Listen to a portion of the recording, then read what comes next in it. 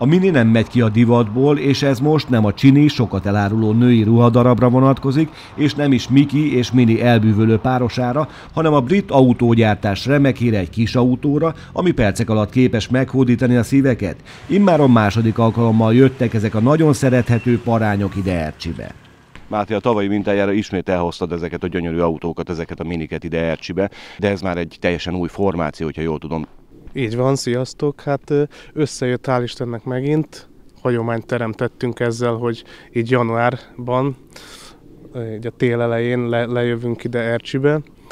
Annyi változás van, hogy kiváltunk a, a, a tavalyi csoportból, és létrehoztunk egy új csoportot Mini Friends Hungary néven, ami tulajdonképpen egy összetartó, és, és több is, mint egy csoport, mert barátok vagyunk tulajdonképpen, és gyakran vannak találkozók, jövünk, megyünk, úgyhogy, úgyhogy jól érezzük magunkat. Most nem kellett nagyon húszolni a tagokat, ha jól sejtem, vagy jól tudom, akkor nagyjából másfél héttel ezelőtt kezdtétek szervezni ezt a vonulást. Tulajdonképpen egy héttel ezelőtt jött az ötlet, feldobta a Facebook, hogy egy éve itt voltunk, adódott az ötlet, hogy akkor, akkor csináljuk meg megint.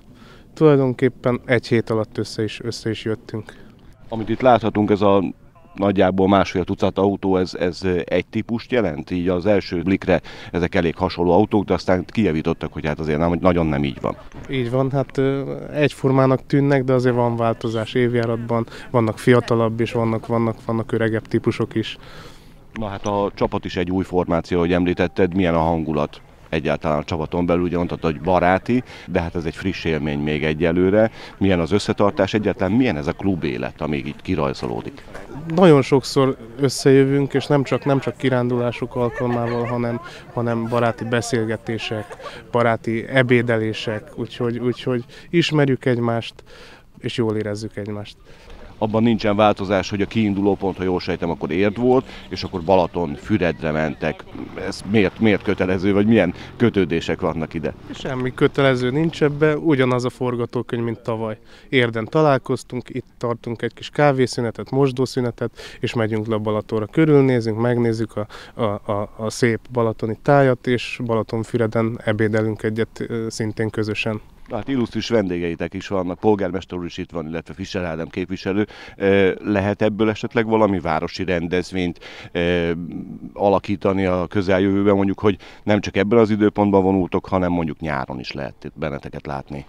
Remélem, hogy lesz rá alkalom. Nagyon örülök, hogy lejött a polgármester úr is megnézni minket, illetve a képviselő úr. Szeretném, hogyha, hogyha majd rendbe jön itt a, a Dunapart, akkor méltóbb helyen tudunk majd itt összegyűlni.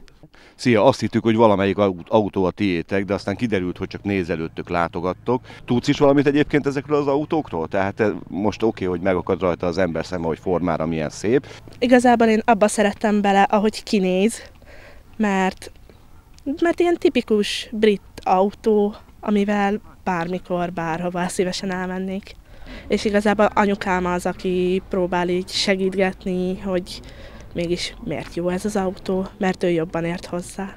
A szín is fontos, hogy milyen szempont alapján választaná? Szín nekem másodlagos. Először is az, hogy milyen a kialakítása, milyen felszereltséggel rendelkezik, az a legfontosabb.